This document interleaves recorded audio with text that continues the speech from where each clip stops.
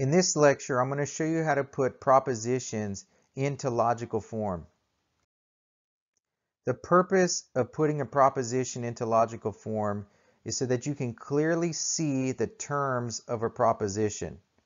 We want to see what the terms are, the subject term and the predicate term. Also, we want to determine the quantity and quality of a proposition. You need to know these things about a proposition in order to fully understand a proposition. If you don't know what the terms are or what the quantity or quality of a proposition are, then you don't fully understand the proposition. And so the whole point is to understand the proposition because if you don't understand what somebody is talking about, how are you going to tell whether it's true or false? So these are, it's an important thing to be able to put a proposition into logical form. That doesn't mean we put all propositions into logical form, but we should be able to if we wanted to. So logical form, you're going to have a quantifier, which is all, no, some. You're going to have the subject term in brackets, the brackets. You're going to have a copula, which is the verb to be. And then you're going to have the predicate term, in brackets. That is putting something into logical form. We can see all the major elements of the proposition. Now, the copula. Copula in Latin means a rope or cord, and it is the verb to be because this verb to be, it acts as the cord or the rope joining together the subject term and the predicate term. And when we put something in logical form, we're going to be using the present tense form of the verb to be. And that is am, is, and are. Am is probably the most tr the trickiest one that you'll use the least. So the steps to putting a proposition into logical form are these are these. First, you must show the quantifier. You're going to expose the quantifier if it's not exposed. You're going to put brackets around the terms because you want to clearly see the terms. And then you're going to expose the copula because sometimes the verb to be, you can't see it. But every proposition has the verb to be because the verb to be is telling existence. And when somebody says a proposition, they are affirming something, they're affirming the existence of something or denying existence of something.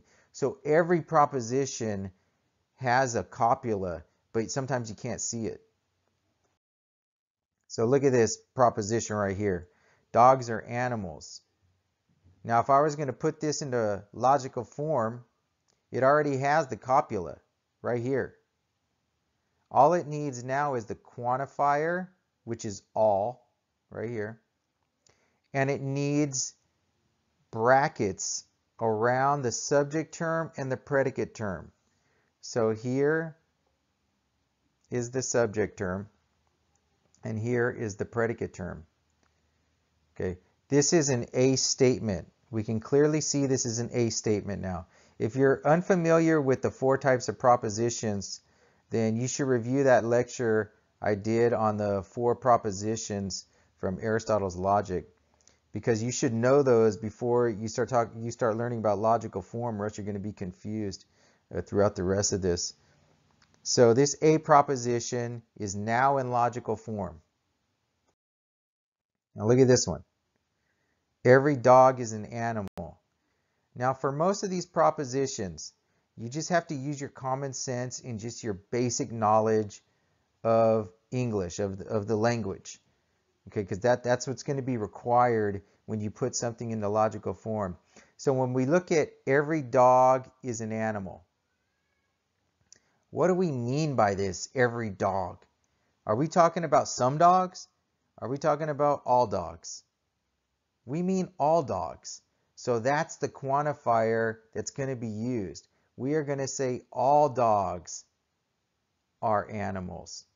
Okay, so here we had every dog is an animal. Is is the copula. I can keep that. It doesn't really matter. Your sentence doesn't have to sound per grammatically perfect. But I changed it to are just just for the convenience of it, just because it matches better concerning the number. All dogs are animals. But if I said all dogs is animals, that wouldn't sound as correct. But for doing logic and putting something into logical form, it still works because you still see the copula and you still see the terms and you see the quantifier. How about this next one? This next one here. A few cats are blue. Now you have to ask yourself, a few cats, what is what is this? This is why you should know those four propositions already. Eh, is it some? Is it all? Or is it no? a few cats. This would be some. A few is not, does not mean all. You're not talking about all cats. You only mean a few, which is another word for that is some. That's the quantifier that we're going to use because that matches one of the propositions that we know. So the purpose of logical form, I should have stated this in the beginning. I already stated the purpose, but here's something to add on here you want to turn any proposition that you see into one of the four propositions, the A, E, I, or O. That's what you're doing. You are turning any proposition that you encounter, and there's a lot of different ones, a lot of propositions have words you've never even seen before. And so you want to turn every one of those propositions into an A, E, I, or O. That, that's the mission. So this, a few cats are blue. We have to ask ourselves, hey, what, what is this? Is this a I, O, E? Is it some? Is it all? This one clearly is some. So it's going to be an I proposition. So we say some cats. Cats is the subject term. In brackets. And we have the R. Now notice the R right here, the copula, was already exposed. So I didn't need to expose it. And then we have blue things, which is the predicate term. Now terms, remember, can be long. They can be one word or they could be 50 words. All right, you don't want it to be 50. If somebody gives you a term that's 50 words, chances are they don't know what they're talking about because terms should be short and sweet, but sometimes they're not. Okay, so blue things is the predicate term. Now exposing the copula. This is what we need to do when we don't see the verb to be. In other words, we don't see an am, we don't see an is, and we don't see an are. But we have to we have to expose that in order to clearly see the subject term and the predicate term. Okay, that's what is that's what's happening. Now with these sentences that I'm giving you, these are easy. These are simple sentences because we're just learning this. But with real sentences, that you find in a in a, a book, especially a book of philosophy, they're not easy like this. And so it really helps if you have a habit of seeing the verb to be, in other words, of seeing the copula. So boys run.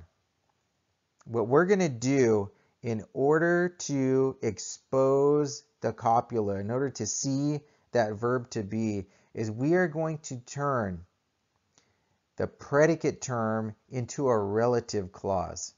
Okay. In other words, a relative clause is just a big adjective.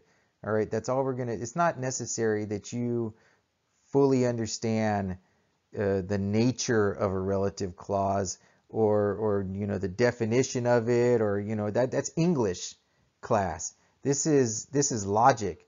All that's important right now is that you are able to do this that you get a habit of doing this. So if I have boys run, you're going to say, oh, first of all, when you say boys run, we can assume that the person means all boys. If they didn't mean all boys, then they should have said it. They should have said a few or some or something like that. We're going to assume all. So, but context can change that.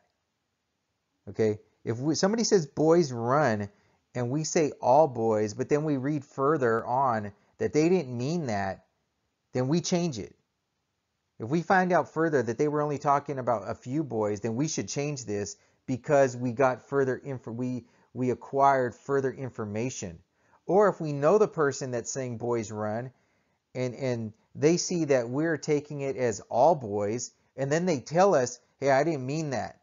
Then we need to change it because we want to get what their meaning is. We want to understand what they are saying. We don't want to try to trick people. Okay? And we don't want to try to trap people in their speech. We want what they really mean. That is a rule of logic and it's a rule of a correct thinker and of somebody who wants the truth. So for boys run, we're just going to assume they're talking about all boys unless we get further information. And then notice with boys run, there's no copula. Where's the verb to be? It's not there, but it is there. It's just hidden. It's implied. And it's our job when we put something in logical form to expose it. So what we're going to do is we're going to say all boys are that which run. See that? That which. All you're going to do is you're going to add these relative pronouns right here. That which run. And that's going to turn this part into a relative clause. All right. So all boys are that which run. It's a little uncomfortable at first, but I mean, after you do it a few times, it, it'll start to get easy on, a, easier and it'll start to get habitual. Now look at birds fly. There's no copula. There's no verb to be. How do we turn it in? How do we expose the copula? All birds are that which fly.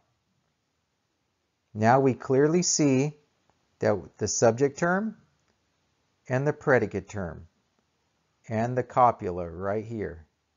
We clearly see everything. Some children cry. Now we already have the quantifier. The quantifier is some. We already have it. So we don't have to add that. Some children cry. What does that turn into? Some children are that which cry.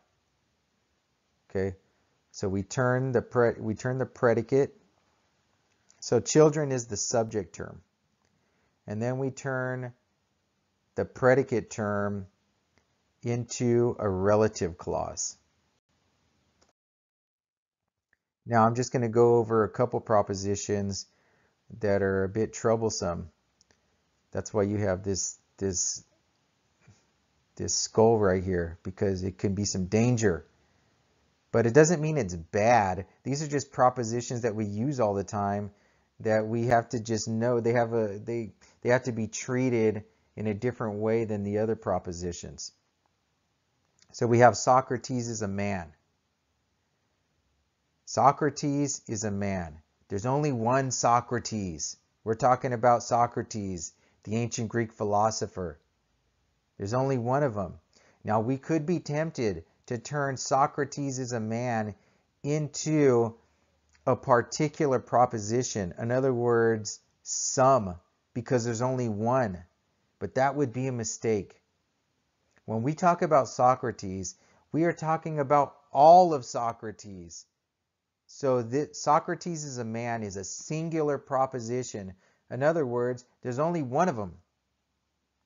So we turn Socrates as a man into an A proposition. See that?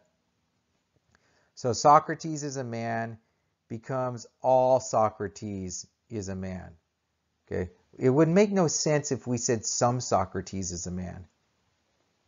You would like his arm is some, but Socrates' arm be Socrates? No, that would be the arm of Socrates. So we cannot split some singular thing like Socrates. All right. So if we have a, a noun, a proper noun that is naming some particular thing, those become the uh, universal propositions. So San Francisco is a city. There's only one San Francisco, the one I'm thinking about. And so because it's one, it becomes all San Francisco is a city. Okay. you wouldn't say, you wouldn't take a part of San Francisco and say that's San Francisco. It is in San Francisco, but it's not San Francisco in and of itself. So here we have a proper noun, and so this is a singular proposition, and it turns into an A statement. Now we have Bill is a painter. There's only one Bill, the Bill that I'm thinking of, and he's a painter. This is a singular proposition. We have one particular person. But just because it's particular, that doesn't mean we turn it into an I statement or an O statement. We don't turn it into a particular statement because when we talk about Bill, we're talking about all of Bill, not just his arm or his leg. Because even if we were talking about his arm or his leg, that wouldn't be Bill. That would be the leg or the arm of Bill. So when you have a proper noun like Bill, and you're talking about a particular person, that turns in to an A statement or an A proposition. All Bill is a painter. All is the quantifier. Bill, remember the quantifier is telling the quantity of the proposition. Bill is the subject term, and we have the copula is. And then we have a painter, which is the predicate term. Next one, the ambiguous proposition, all S is not P. This is one of the most common statements that we make. All S is not P. The S stands for the subject term and the P stands for the predicate term. This is ambiguous. And the ambiguous involves a term that can have two meanings. That's what that means for, for us particular, for logic. It's a term that can have two meanings.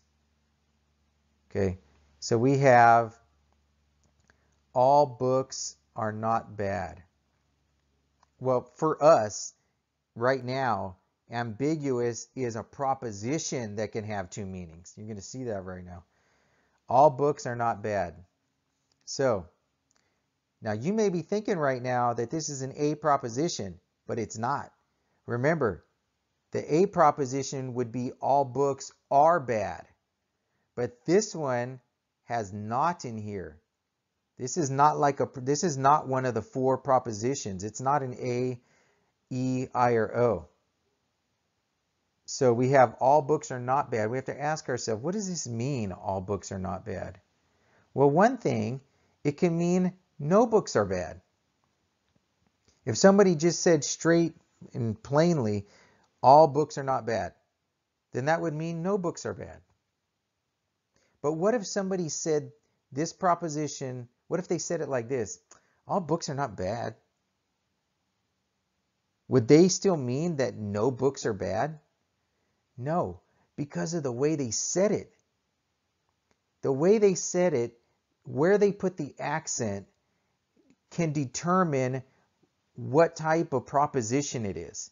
So when somebody says all books are not bad, so if somebody's saying that all books are bad and then somebody replies all books are not bad, then what do they mean by that?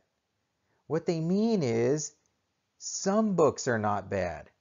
So based on how you say the proposition and the context, in other words, the environment in which it was said, that can determine what, what type of proposition it is.